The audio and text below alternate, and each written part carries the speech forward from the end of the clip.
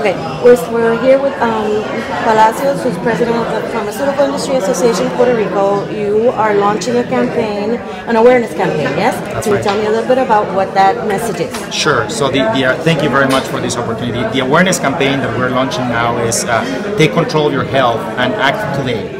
And it's an important campaign of awareness because it's mostly focused around education in the general public in Puerto Rico.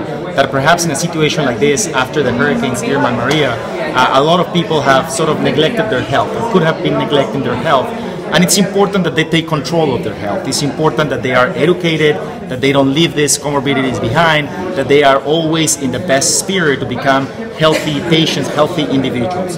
And I think it's important that there's a lot of information that we have uh, that we can pass along to the patients. Information such as adherence of their medications, information such as going to their doctors and, and, and complying with the, the prescriptions of the doctors, information such as vaccinations, uh, proper hygiene, uh, prevention of infectious diseases. These are all important topics that we believe are critical for the people of Puerto Rico, especially in situations of crisis like this. Our motto is that we believe that an educated patient is an empowered patient, and an empowered patient is ultimately a healthy patient. Now, what prompted PIA to launch this campaign? Have you seen, you know, some sort of um, a, a trend um, in Puerto Rico as to, you know, patients setting that aside, their their health care? Yeah, so I, it's a great question. So I think it's uh, it, the most important thing is that when we see this recovery effort the government uh, is doing, and they're doing you know a very good job in trying to sort of bring the island back to to, to the new normal. Um, this is not just the government's task. This is a task of every Puerto Rican, and, and we as an industry,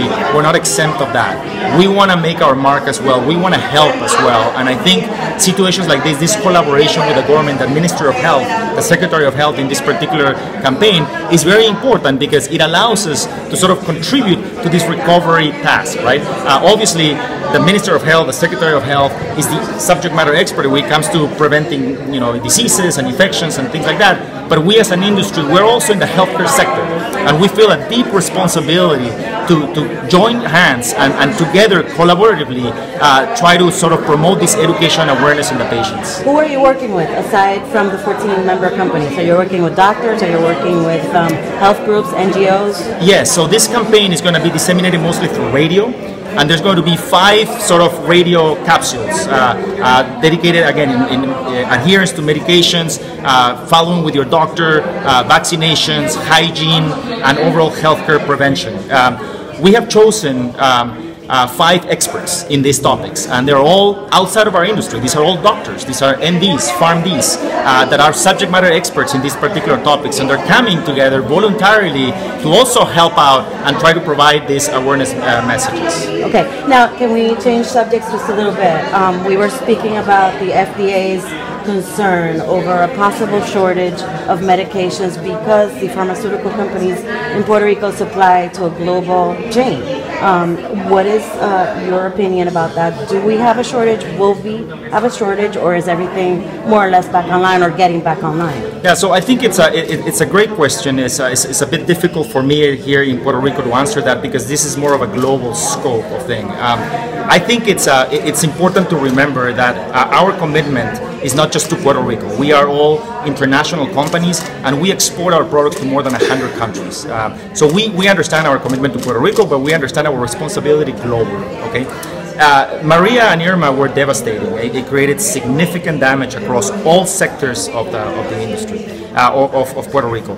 Our industry is recovering, like most other industries are recovering, and I think the recovery process is, you know, it's a step-by-step process. Uh, I, I'm very proud um, that we have been working very closely with the government of Puerto Rico, and they have given a certain level of priority to our industry because it's not just important for the health and the healthcare sector of the island, but it's also important for the economic development of the island. Uh, our industry, PIA, uh, the 14 companies, represents about 30% of the GDP of the island. So the future of our companies and our industry is very important as the footprint for economic growth and development for Puerto Rico, medium, short, medium, and long term, right?